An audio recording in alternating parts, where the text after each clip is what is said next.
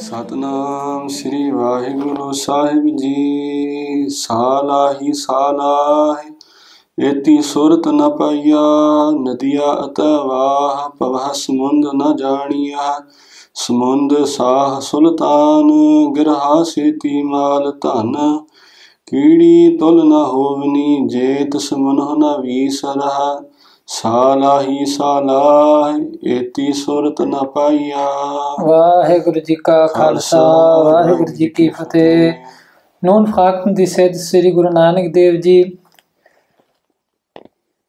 wenn der allmächtige Schöpfer so groß und barmherzig ist, warum rezitieren die Menschen denn oder die ganze Galaxie denn nicht seinen Namen? Und diejenigen, die seinen Namen rezitiert haben, haben die das Ende des Schöpfers gefunden? Guru Nanak Dev Ji sagt, Salahi, Salahi. Salahi ist derjenige, den man lobpreisen sollte, der Schöpfer, Vaheguru. Salahi bedeutet die Lobpreisung, ihn zu erinnern. Iti Sortanapaya, diejenigen, die den allmächtigen Schöpfer sogar rezitiert haben, auch diejenigen haben nicht das Ende des einen allmächtigen Schöpfers gefunden, denn, es, denn der allmächtige Schöpfer ist zeitlos, ist formlos. Der eine allmächtige Schöpfer, da kann man kein Ende beschreiben.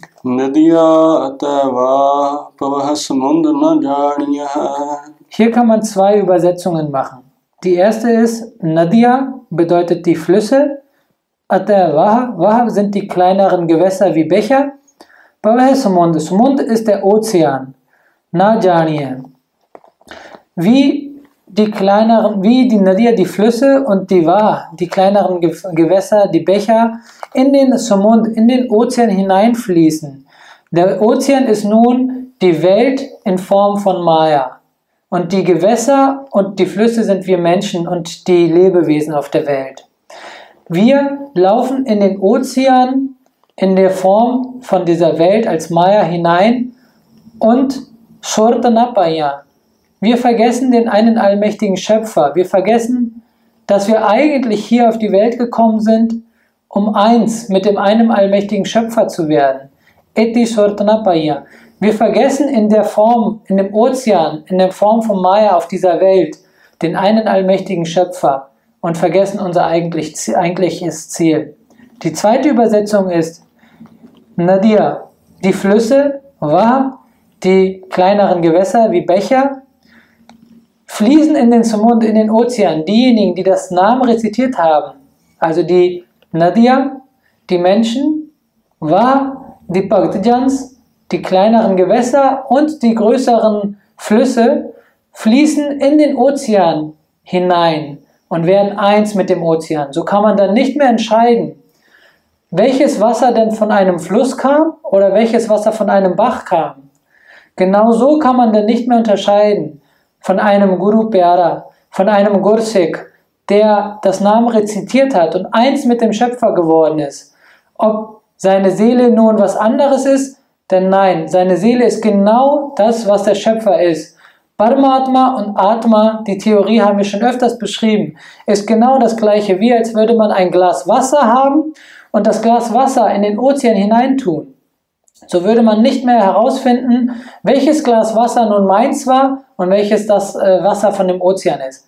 Das Ozeanwasser wird der Schöpfer sein und unser Wasser wird unsere Seele sein, unser Atma. Also wird, der Atma, also wird die Atma in den Paramatma hineinfließen. Sumund sah sunatam graha seti mal tan.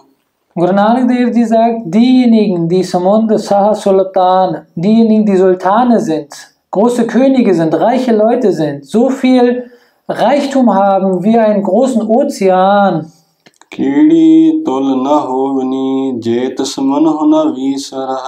Auch diejenigen werden noch nicht mal gleichgestellt wie eine Kiri, wie eine Ameise, wie eine kleine Ameise, denn, denn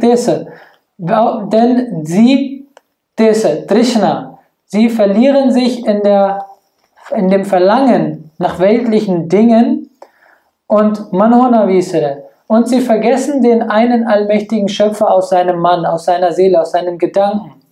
Guru Nanak Dev Ji sagt aber auch, Kiri Tolana Hovani, die Kiri, die eine Ameise, die den einen allmächtigen Schöpfer, Manhu Navisre, die den einen allmächtigen Schöpfer nie vergisst und immer den Namen des Gottes rezitiert, wird mehr wert sein als ein Reicher, als ein Sultan, als ein König, der sehr viel Erbe und sehr viel Reichtum hat.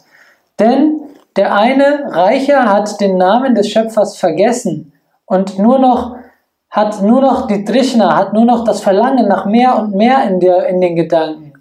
Und die Geli, die als sehr klein dargestellt wird, hat den einen allmächtigen Schöpfer im Kopf und im Sinne und gelangt so zu Vaheguru. Vaheguru Ji ka Khalsa, Vaheguru Ji ki Fateh.